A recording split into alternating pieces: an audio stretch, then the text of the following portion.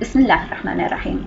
أرحب بكم طلاب الأعزاء بهذا الفيديو اللي نقدم به شرح للمحاضرة الرابعة.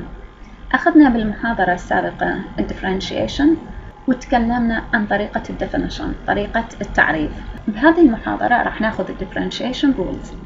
ال rules هي مجموعة من القواعد اللي آه، تقدر من خلالها تحل وتشتق أي function تجيك سواء كانت هاي ال function آه، عبارة عن ثابت ولا عبارة عن آه، معادلة من الدرجة الأولى أو الثانية أو الثالثة أو كانت آه، عبارة عن دالة كسرية أو دالة جذرية بأي طريقة أي function يجيك تقدر تشتقها بالاعتماد على هذه ال rules والاشتقاق بطريقة ال rules هو اشتقاق بسيط جدا ومختصر ومن خلاله تقدر تحل أي function القاعدة الأولى هي مشتقة ال constant مشتقة الثابت. مشتقة الثابت دائما تساوي صفر. okay؟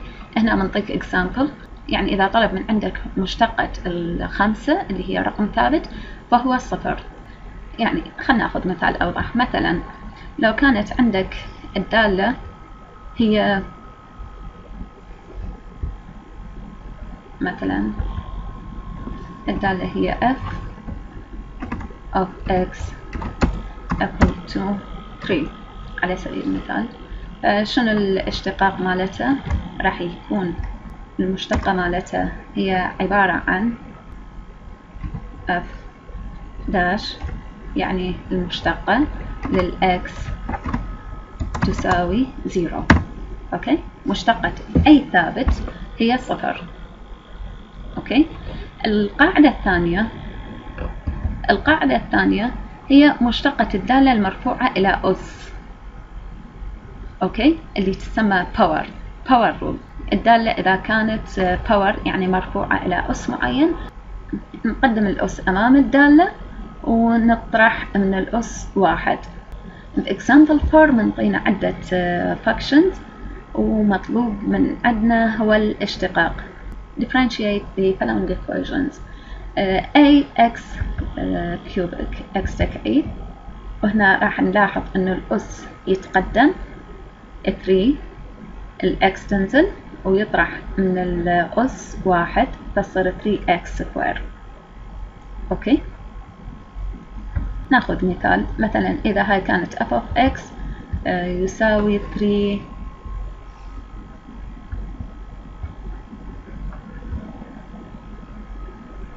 مثلا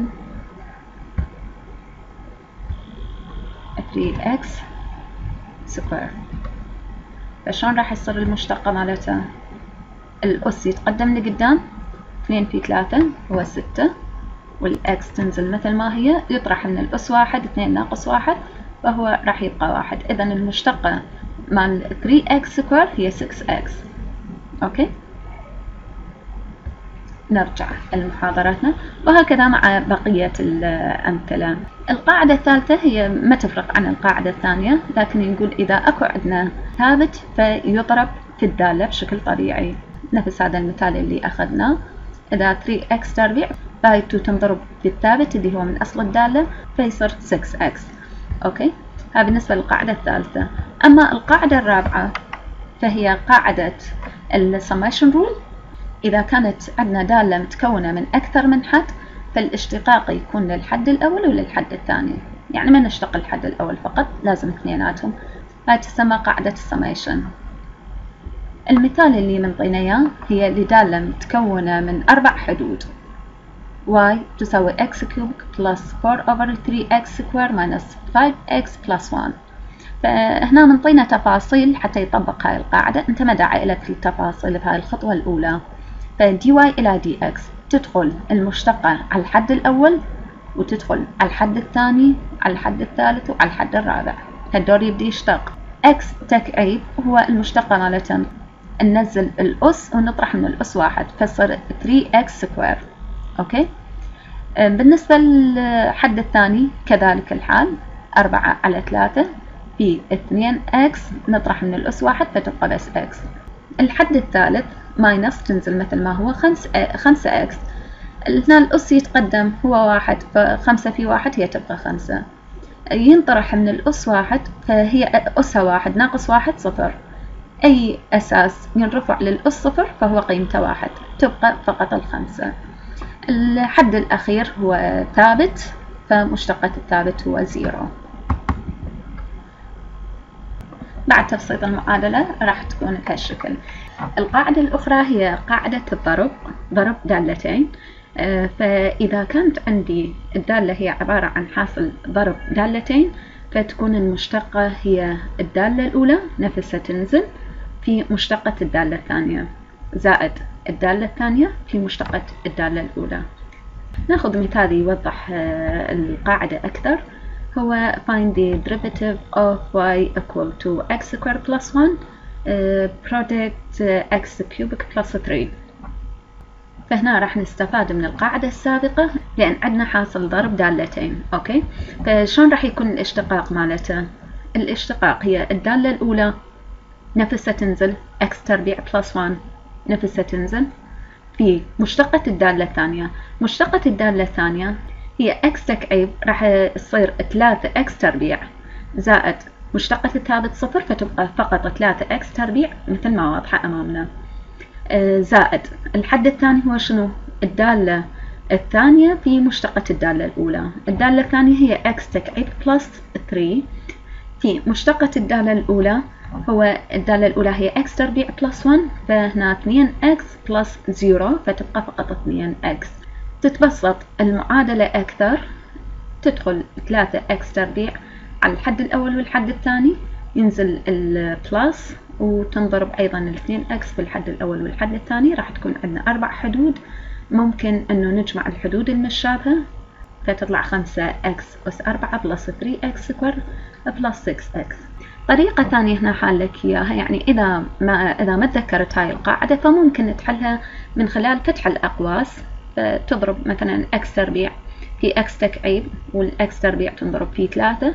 بعدين ترجع تضرب الواحد في x تكعيب والواحد في ثلاثة. وبهاي الحالة راح تكون عندنا دالة اعتيادية جدا مرفوعة إلى قوة دالة اعتيادية جدا ممكن حلها بالطريقة اللي أخذناها من قبل. فهنا ينزل الخمسة وينطرح من الأس واحد تصير خمسة إكس أس أربعة. زائد الحد الثاني هو x تكعيب. أيضا تنزل الثلاثة ويطرح من الأس واحد فتصير ثلاثة x تربيع. plus 6 x اللي هي اثنين آه، تنزل تنضرب في في ثلاثة. وتبقى عندنا ال x أس واحد. أما مشتقة الثابت فهي zero ما تنزل. فأنت تحل بهذه الطريقة أو بهذه الطريقة ما مشكلة ما فرق. المهم أنه يكون حلك صحيح. ولاحظ أنه بالطريقتين طلع ال answer نفسه. هو المفروض أنه يكون ال answer نفسه. القاعدة الأخرى هي إذا كان عندك حاصل تقسيم دالتين فشون تشتقها القانون هو يكون المقام V المقام في مشتقة البسط ناقص البسط في مشتقة المقام على المقام تربيع. يعني إذا ما واضحة عندكم أرجو من كل طالب إنه يخلي ورقة وقلم يمه ويكتب هاي الملاحظات اللي أتكلمها بالعربي. ربما هنا ما واضحة كثير لكن أنا جاي أشرحها. فأتمنى من عندكم تكتبوها حتى لا تنسوها. أه هنا ناخذ مثال توضيحي عنه. Find the derivative of y equal to t squared minus 1 over t cubic plus 1 هنا راح نطبق القاعدة السابقة بس هنا للمعلومة t أس 3 بلس 1 يعني هنا صعد ال 1 ويا ال ويا الأس. هو يعني هنا خطأ مطبعي المفروض ينزل. ف t cubic plus 1 هاي راح نشوفه هنا واضح. هذا المقام و t تكعيب plus 1 المقام في مشتقة البسط.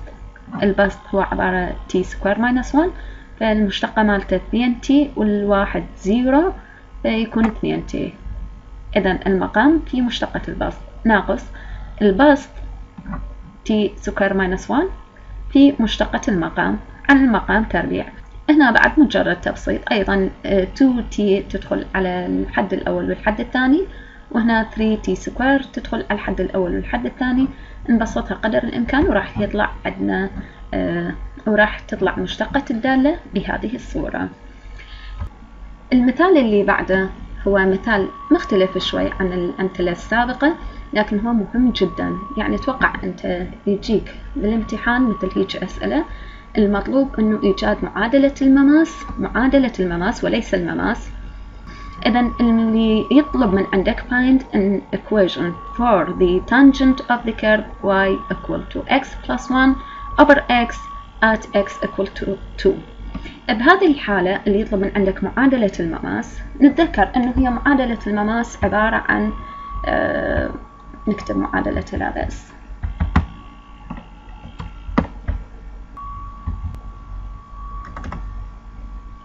هي y minus y1